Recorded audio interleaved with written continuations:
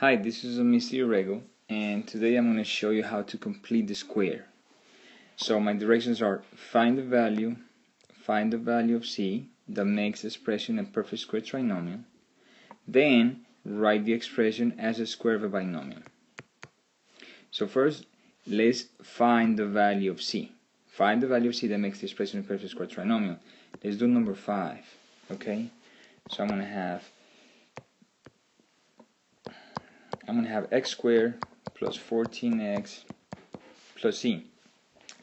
I need to find the value of c that makes this trinomial a perfect square trinomial. How do I do that? To find the value of c, okay, I'm going to bring this value, whatever value is next to the x.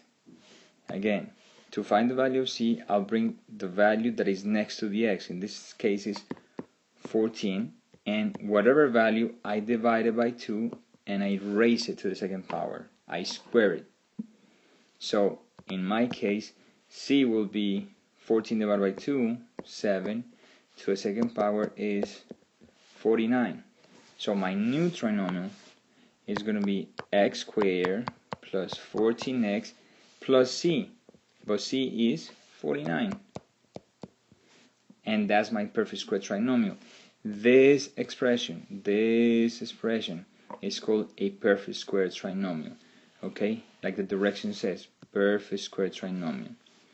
The second part of the directions it says, then write the expression as a square of a binomial. Write the expression as a square of a binomial. So to write this expression as a square binomial, what I'm going to do is whatever variable you have here, you bring x. If this is x squared, then I only bring 1x. And then the second part over here is going to be half, half of whatever value is next to the x. Again, the second part here on my binomial is going to be half of whatever is next to the x. So half of 14 is going to be 7. Okay? Half of 14 is 7.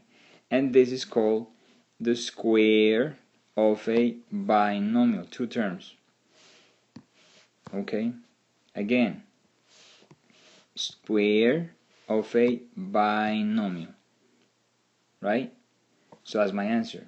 My final answer is the perfect square trinomial, which is x squared plus 14x plus 49.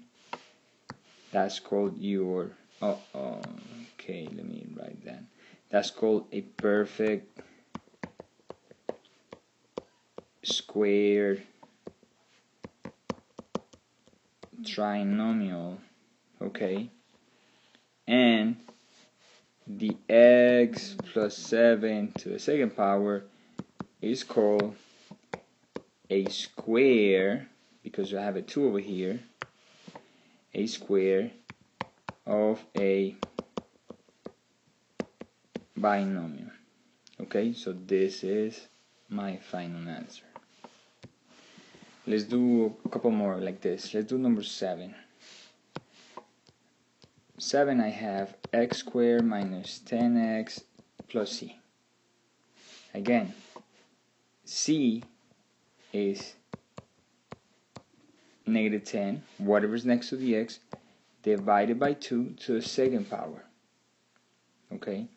c, this is the value of c, is the same as whatever's next to the x, divided by 2, everything to the second power. Make sure you keep the parentheses. So negative 10 divided by 2 is negative 5 to the second power. Negative 5 to the second power is positive 25.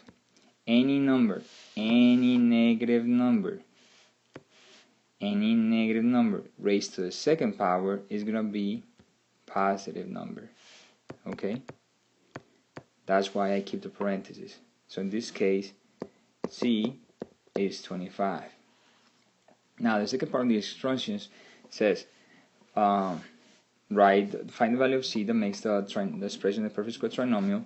In my case, it's going to be x squared minus 10x plus 25 and then they say write the expression as a square. Square. That's the, the square of a binomial. Two terms. The first term like I said before is going to be x. The second term over here the second term is going to be half of this.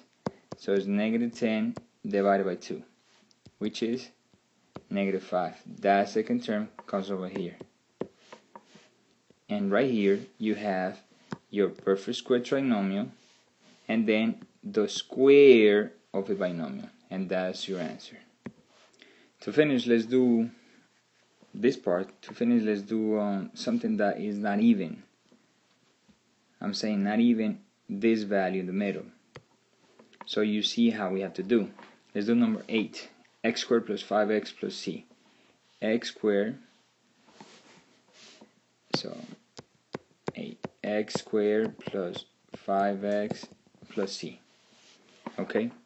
So I need to find the value of c the value c is whatever is here 5 divided by 2 to the second power in my class, I don't like to use calculators or we have to do decimals. So in this case, I'm going to do the fractions. I'm going to have 5 to the second power is 25 and then I'm going to have 2 to the second power which is 4. So the value of C is 25 over 4 and I'll keep it like that. Alright let's write the trinomial and then the square of a binomial. So my answer, I'm to have x squared plus 5x plus 25, uh oh, 25 over 4 equals my square of the binomial. Again, x squared, so that's x. The second term is half of this half of 5. Look, half of 5. So it's going to be 5 over 2. So my answer is x squared plus 5x plus 25 over 4. That's my perfect square trinomial. And the square of a binomial, x plus 5 over 2 to the second power. And we're done. Study, please.